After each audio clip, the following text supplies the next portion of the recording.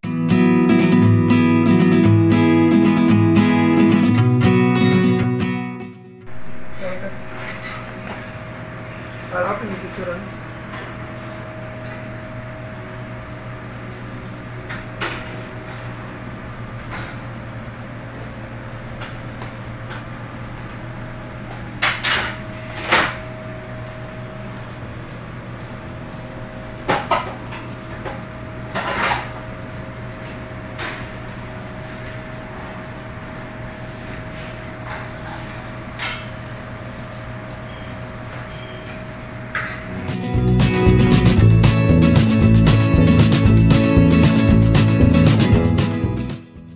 Guys, ang ating menu for today is spaghetti.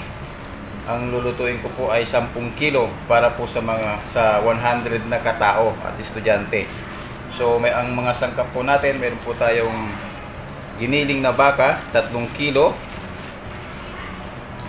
Mayroon tayong condensed milk na dalawang piraso. Meron po tayong pasta, bali 10 kilong ganito yung gagamitin ko.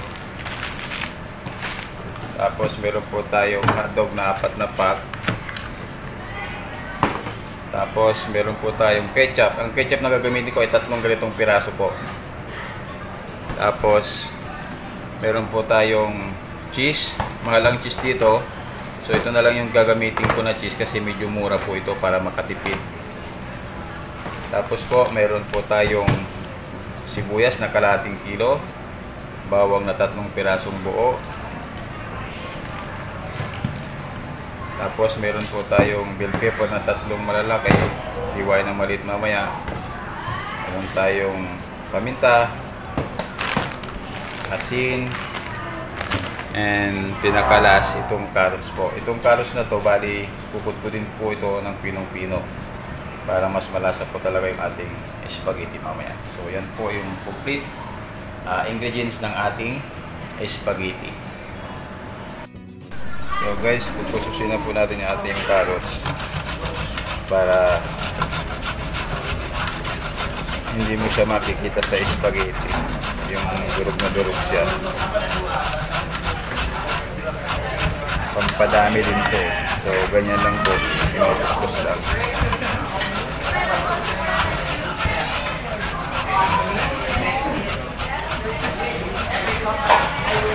Ganyan lang guys yung pagpupus ng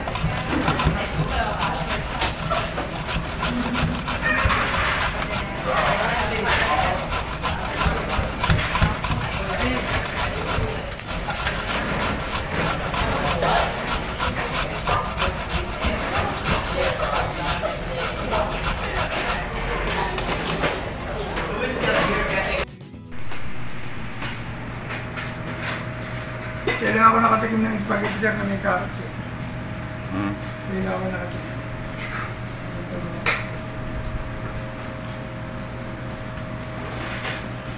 Ito ano din kasi yan, pampadami.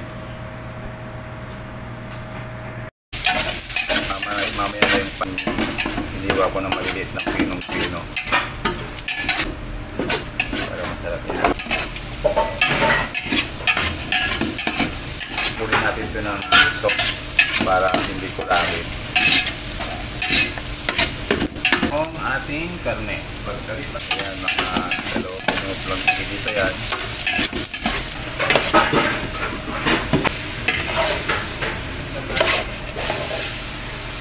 Malapot na yung karne. Na tayo ng sauce natin.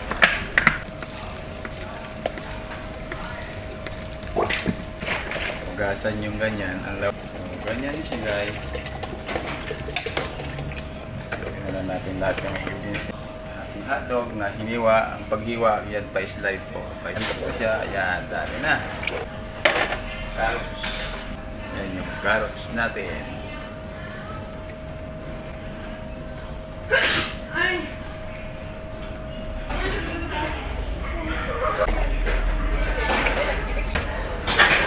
Sasabay ko na rin guys yung ano. Kasi mahal yung mahaba. Guys, ito na lang yung binibili namin. So yan guys. Ilagay ko na yung cheese. cheese pa. Buo pa yung mga iba yan, oh. buo pa siya. Yung lalagay naman natin ay ano guys. Yung ating bell pepper. Magsabay na sila ng sa mga buo.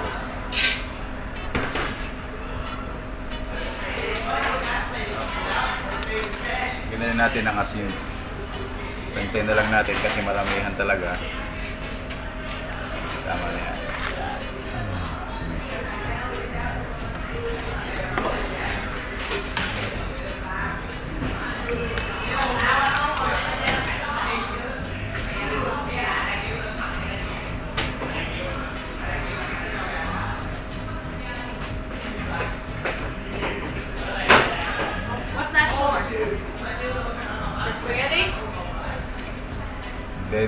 Natin yung ano, condensed milk.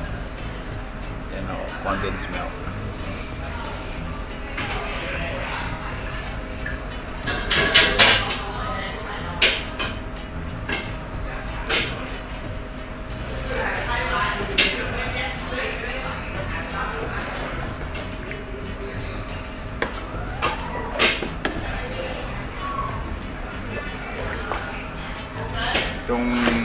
Condensed milk guys, yung kung depende na lang sa panlasa nyo kung hindi nyo matamis, pwede kayong magdagdag.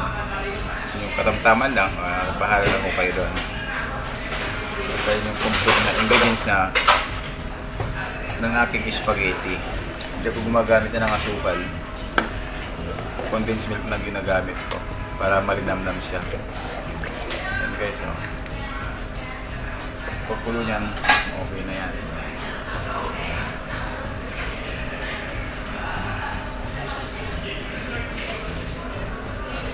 So, titikman natin guys kung pwede na siya.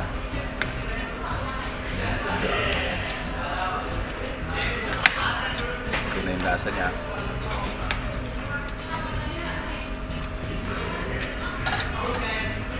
Okay na. Kaya konting asin. Ah,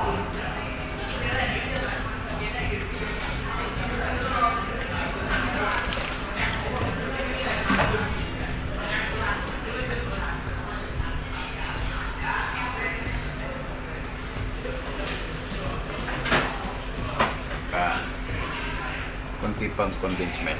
Mga kalaha, one third nito. Yan, okay na. Yan.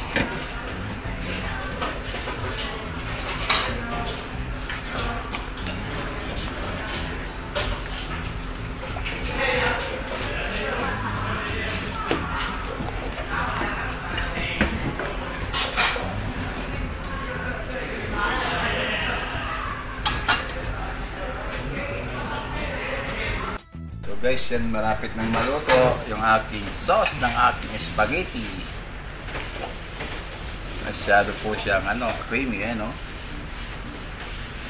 Yan yung ano ng cheese, yung lumulutang na yan. Yan yung cheese.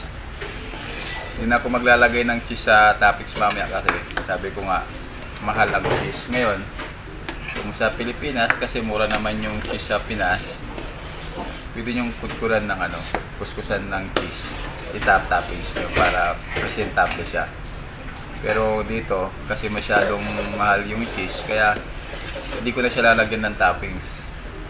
Nilagay ko na yung cheese dyan sa sauce niya. Yan na po yung ating sauce ng ating spaghetti. Mga 5 minutes na lang yan ay tatanggalin ko na. Sa timpla naman naman po yan. Lagyan ko ng asin, paminta. So, okay, okay na po yan guys. Ito ay para sa isang daan kasama ng staff at saka mga estudyante. 10 kilong pasta ang aking luluto maya-maya lamang. So, muli ako ay nagpapasalamat sa lahat ng mga subscriber ko, lahat ng mga sumusuporta sa aking mga vlog. Nawa ay patuloy nyo pa rin panoorin ang aking mga vlog. So, salamat ulit sa inyo guys. So, yan na po. Ang ating sauce ng ating spaghetti. So guys, pagka magluluto tayo ng pasta, lalagyan po natin ng mantika yung tubig. Lalagyan natin ng mantika para hindi siya dumikit. Kahit na konti lang. Tapos, lagyan din natin ng konti asin. Konting, konting asin lang. Konting asin lang guys, yan. Yan ang sikreto para yung pasta na ilalaga niyo ay hindi siya didikit. So, at least pag kumulo yung tubig, lagyan nyo yung pasta, mga 10 minutes lang po. Luto na yung pasta natin. So, ganun lang po yung procedure kung paano magluto ng pasta. Ngayon, pagka naluto na siya, i-drain nyo po siya. Tapos, isasawsaw nyo sa malamig na tubig para hindi siya maubod ko ulit. So, ganun po. Pagkatanggal nyo, i-drain nyo. Tapos, hugasan nyo ng malamig na tubig. Okay? So, yun lang bang po ang procedure ng paano pagluluto ng ating pasta.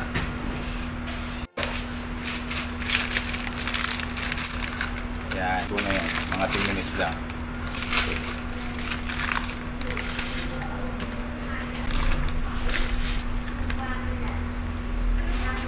yan. Mga 10 minutes lang yan.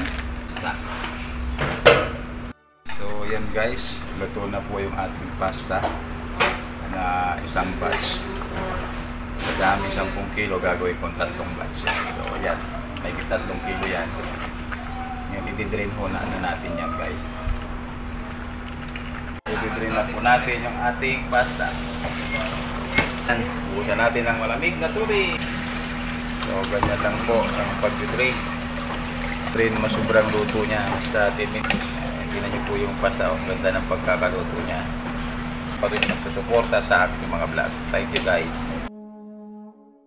Yan po yung mga niluto ko, mga bata. Kumakain na po sila. Karawan ni David dyan. Yan po yung kumakain nila. Yan, may kasama pang ice cream.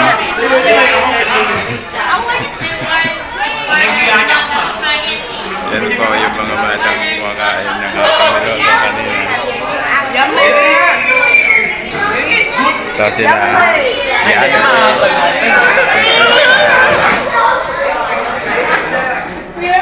Yan, may ice cream. Yung birthday celebrant. Si David yan. Yan yung birthday celebrant. Si David yan.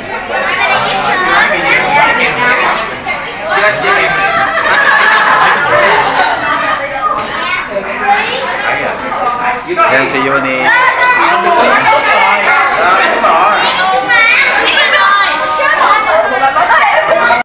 Yan yung tatlo. oh.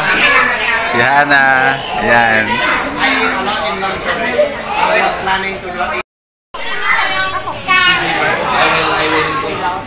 Đúng rồi, này, này qua tại vì sao thì em cho làm cho mọi người nói là em nói cái kiểu mà em nghe ai cho